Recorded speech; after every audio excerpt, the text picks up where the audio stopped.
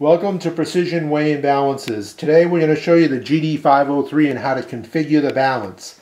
Out of the box, this GD503 weighs in carats and grams. So we're going to go over how to change the weigh mode. So you don't want to have any of these components inside the balance when you do this. We have to turn the balance over.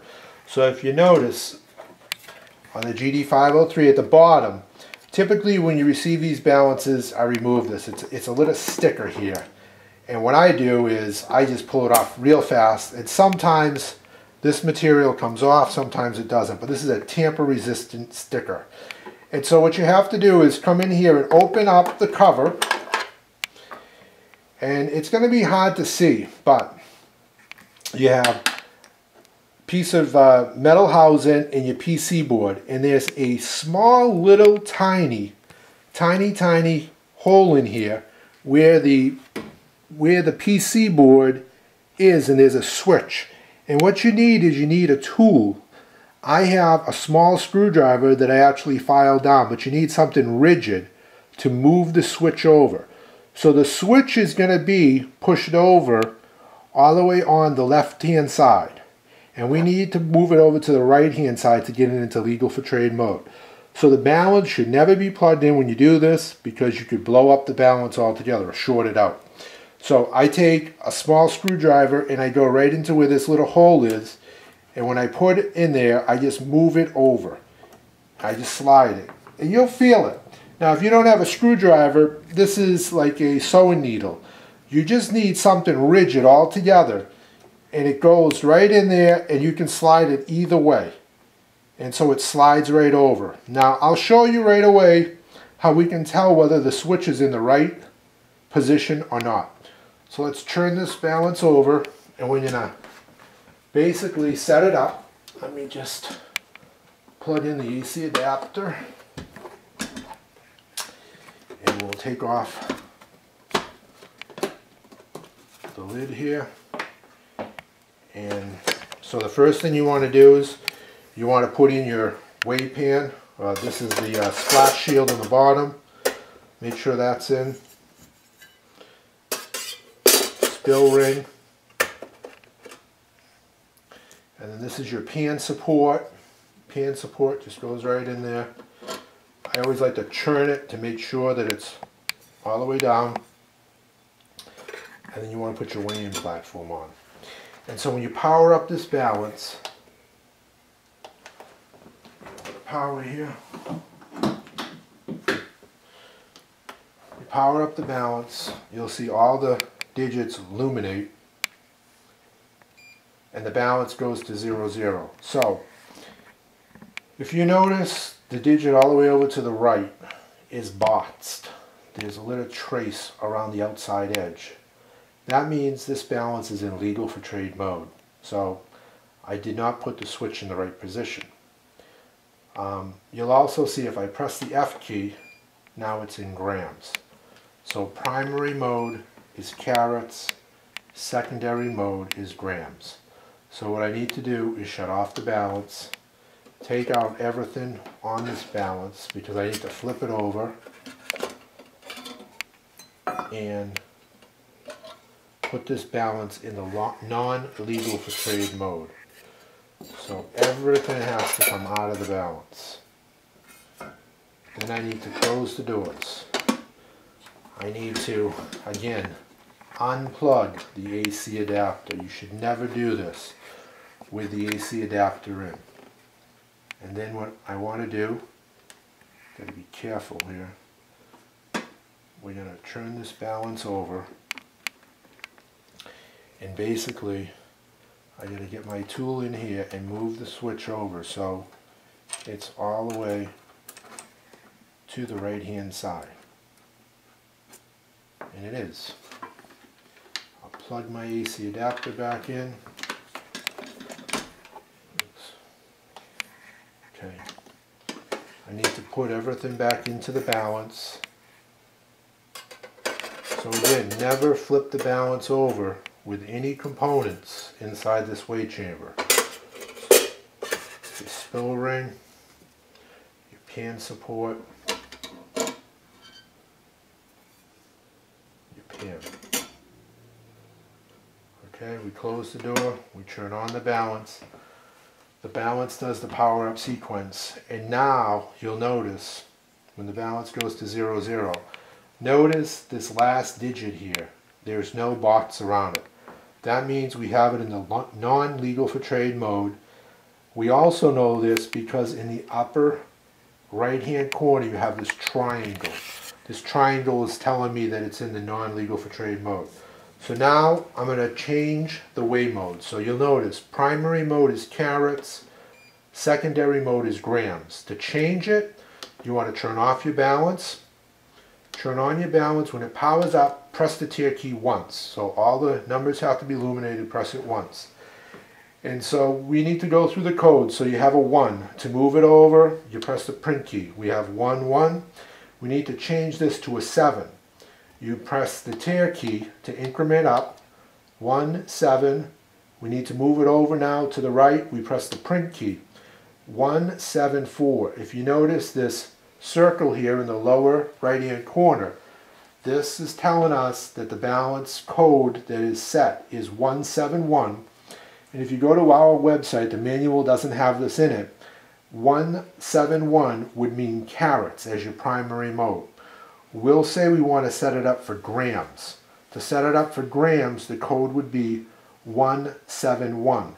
So we have to change it. To change it, we're going to press the tier button. And as I press the tier button, you'll notice the number increments up. We got to get it all the way to 171. To store the value, we need to press the print key. If we just press it once, uh, did it wrong. Let me do it again. Okay.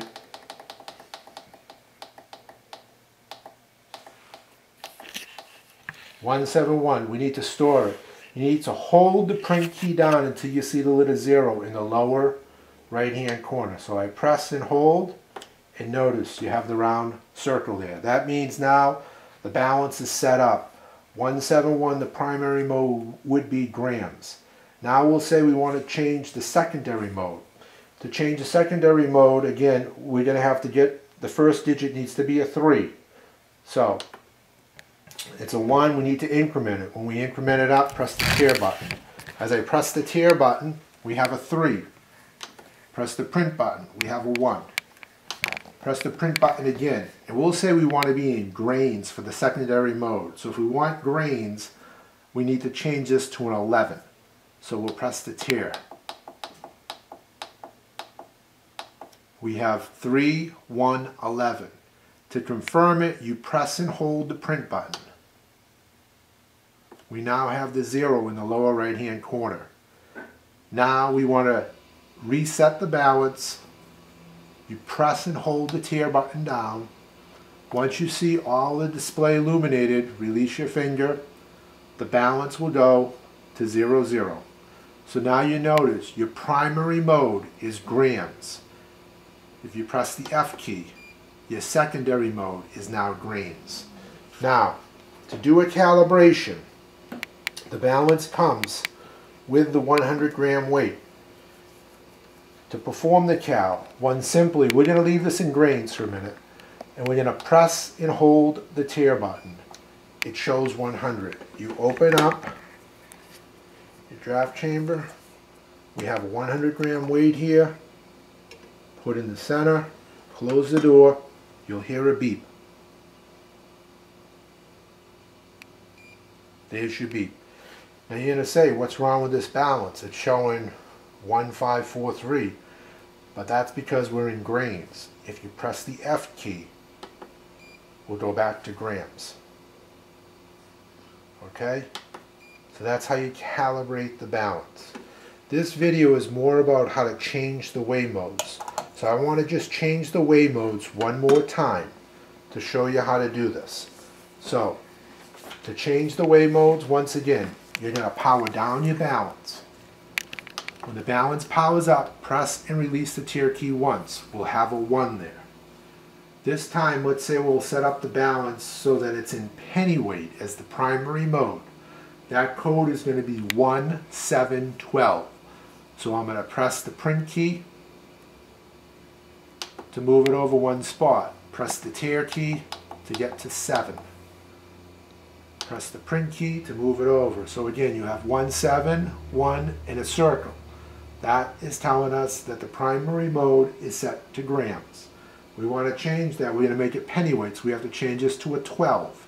So to do so, we're going to press the tare key until we see 12. Now we have to store it. To store it, you want to press and hold the print button. You have a zero there.